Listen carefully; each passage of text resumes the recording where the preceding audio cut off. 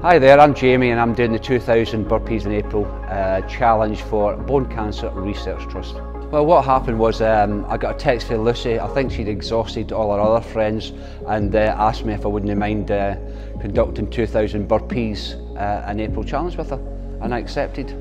Uh, to be honest with you, I initially thought, you know, 2000, it, it works out at something like 67 a day. Thought that, that would be pretty okay, like, you know. But from day one, we sort of set the bar high. And we were, we were doing like four days worth in a day. And actually we've increased the totals all the time. So so currently we're at around about the 4,000 figure halfway through the month.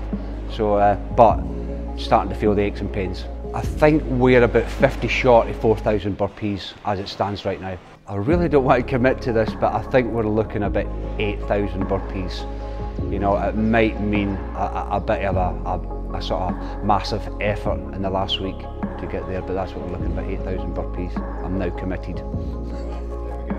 I think between both these we're around about the 600 pound mark.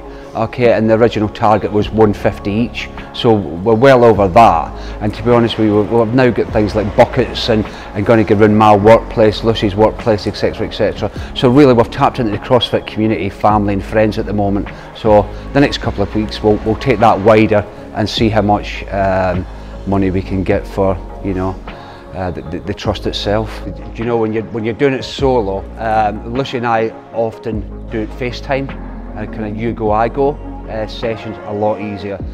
Obviously with a class because sometimes you can walk away with a class and you've got 100 already in the bag but when you're doing it at home uh, or at my work on my own, you know, it's hard work. Well, I'm not getting any younger so um, I feel like my hips and my ankles. You know, that, that that's where it is hot.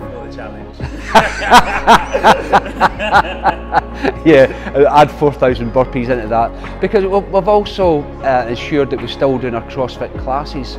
Otherwise, it, it you know, it would sort of um, want to be the same challenge really. So still doing our classes and the, the, the, uh, the burpees are on top of what we already do.